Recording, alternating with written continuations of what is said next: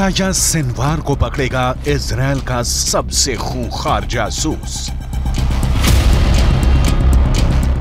Israel ने Hamas की सुरंग में छोड़ दी है। अपनी सबसे बेहतरीन डॉग यूनिट हर एक डॉग के निशाने पर है। हमास के आतंकी इन सभी के टारगेट पर है इसराइल का नंबर वन दुश्मन याया सिनवार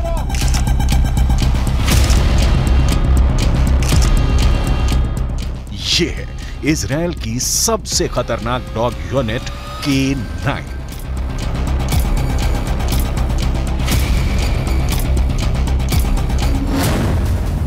ये डॉग यूनिट कमांडरों की तरह युद्ध में भाग लेती है। सेना के जवानों के कंधे से कंधा मिलाकर दुश्मन के खिलाफ लड़ते हैं। आईडीएफ के मुताबिक ओकेड्स यानी के नाइन यूनिट्स के डॉग्स गाजा में पूरी तरह से सक्रिय हैं। वहाँ विस्फोटकों का पता लगाने में इजरायली फोर्स की मदद कर रहे हैं। इसराइल की सेना ने हमास की सुरंग का एक और वीडियो जारी किया है। यह वीडियो गाजा के दक्षिण इलाके का बताया जा रहा है। सुरंग की तलाश में इसराइल की सेना अपनी स्पेशल के नाइन डॉग यूनिट को लगा रखा है। वीडियो में नज़र आ रहे इस खोजी कुत्ते पर कैमरा लगाया गया है और ये सुरंग में हमास के लड़ाकों की तलाश कर रहा है। एक मिनट चौवालीस सेकंड के इस वीडियो में सबसे पहले दिख रहा है कि इसराइल की के नाइन यूनिट का डॉग एक सुरंग में घुसता है सुरंग के रास्ते में एक जगह पर कुछ बोरियाँ रखी गई हैं। ऐसा इसलिए कि अगर दुश्मन अंदर आने की कोशिश करे तो इसे पार करने में थोड़ी मुश्किल होगी और इस दौरान हमास के लड़ाके उनका मुकाबला करने के लिए तैयार हो जाएँ। डॉग के आगे बढ़ने पर सुरंग में एक तरफ़ इलेक्ट्रिक बॉक्स नज़र आता है, जबकि दूसरी तरफ़ ब्लास्ट प्रूफ दरवाज़ा लगा है। इस तरह के दरवाजे सुरंगों में इसलिए लगाए जाते हैं कि हमला होने पर इसे बंद कर दिया जाए और दूसरी तरफ़ बैठे लोग महफूज रह सकें। दरवाजे की दूसरी तरफ़ हमास के लड़ाकों ने बाकायदा छिपने के लिए एक जगह तैयार कर रखी है। सुरंग में छिपने की एक दूसरी जगह भी है वीडियो देखकर ऐसा लगता है कि या तो यहाँ पर हमला हुआ है, या फिर हमास के लड़ाके खुद ही इस जगह को बर्बाद करके यहाँ से निकल गए हैं। क्योंकि शायद हमास के लड़ाकों को ये पता चल गया था कि उनके इस ठिकाने पर आईडीएफ की नज़र पड़ चुकी है और उनका अटैक कभी भी यहाँ पर हो सकता है। सुरंग के अंदर रहने के पूरे इंतज़ाम थे। खाने पीने की भी पूरी सुविधा थी। ये देखिए सुरंग के बाहर पानी की चार टंकियाँ रखी हैं। पाइप के ज़रिए पानी की सप्लाई सुरंग में की गई है। ऑपरेशन के दौरान इसराइल फोर्स को एक और ब्लास्ट प्रूफ दरवाज़ा मिला, जिसमें दुश्मनों पर गोलियाँ बरसाने के लिए एक होल भी है। वीडियो को देखकर लगता है कि इसमें दो अंडरग्राउंड फ्लोर हैं।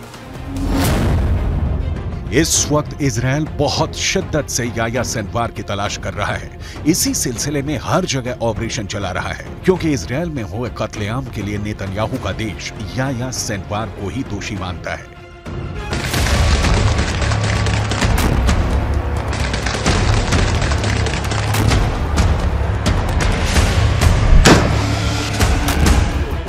याया सेनवार अब इसराइल के सिर पर चढ़ गया है।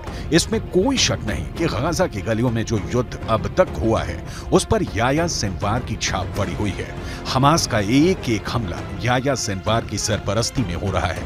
ये बात इसराइल की फोर्स बहुत अच्छी तरह जानती है।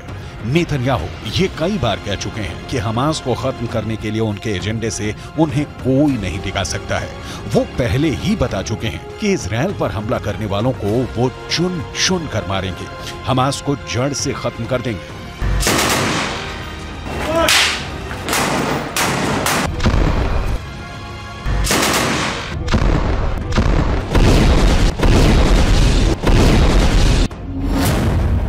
नेतन्याहू को जब से पता चला है कि याया सेनवार सुरंगों में घूम रहा है और बंधकों से मुलाकात करके उनसे सीधी बात कर रहा है, तब से नेतन्याहू की बेचैनी बढ़ गई है।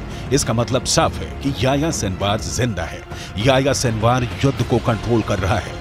याया सेनवार बता रहा है कि इसराइल का एक एक बंधक उसके रहमो करम पर ज़िंदा है। यही बात इसराइल को बहुत परेशान कर रही है।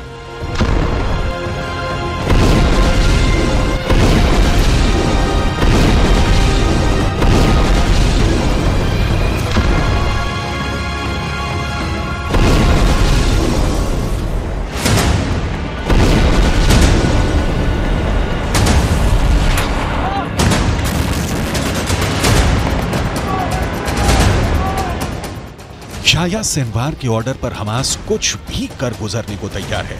सेनवार की बहुत ही खास स्ट्रेटजी है, जिसके आगे अभी तक इसराइल नाकाम ही साबित हुआ है।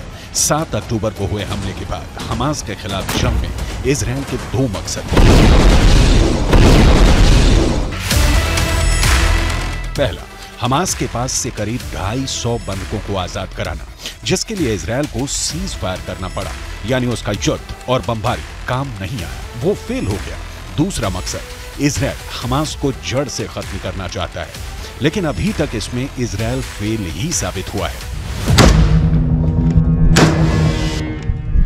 इसमें कोई शक नहीं कि याया सिनवार ही 7 अक्टूबर को हुए हमले का मास्टरमाइंड है। उसी ने साजिश रची, उसी ने टारगेट चुना।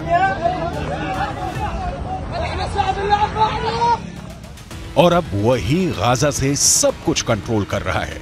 ये बात नेतन्याहू भी अच्छी तरह से जानते हैं और उनकी सेना भी।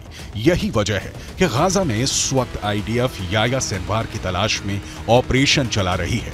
हालाँकि इसराइल के लिए सब कुछ इतना आसान नहीं रहने वाला। उसके पास चाहे जितने बंकर बस्टर बम हो, चाहे जितनी भी बेहतरीन डॉग यूनिट हो, लेकिन हमास की सुरंग भी ऐसी हैं जिसका नेटवर्क और जिनकी गहराई अब भी इसराइल के लिए एक बहुत बड़ा चैलेंज बनी हुई है। 18 दिसंबर को भी इसराइल की सेना ने एक सुरंग का वीडियो जारी किया था। यह सुरंग इसराइल और गाजा के बॉर्डर के पास पाई गई। चार किलोमीटर लंबी इस सुरंग का इस्तेमाल इसराइल पर हमले के लिए किया जा रहा था। इस सुरंग में याया सेनवार का भाई भी गाड़ी से जाते हुए दिखा था।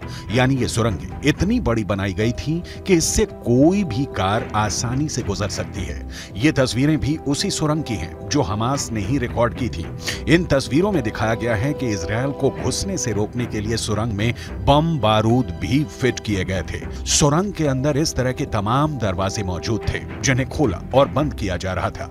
सुरंग के अंदर भी कई गहरे रास्ते हैं, जो हैरान करते हैं। वीडियो में दिखाया जा रहा है कि हमास का हमला दस्ता सुरंग की मिट्टी को एक खास उपकरण से हटा रहा है।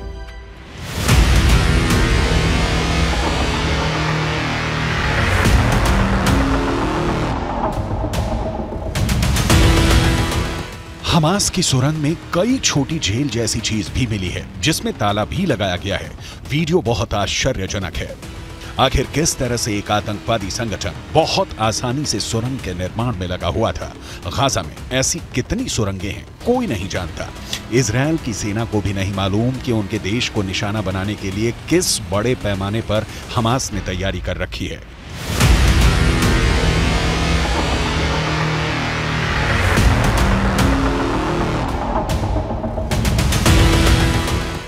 हर बार इसराइल की सेना जब तक सुरंग की तलाश कर पाती है, तब तक हमास के लड़ाके वहाँ से निकल चुके होते हैं।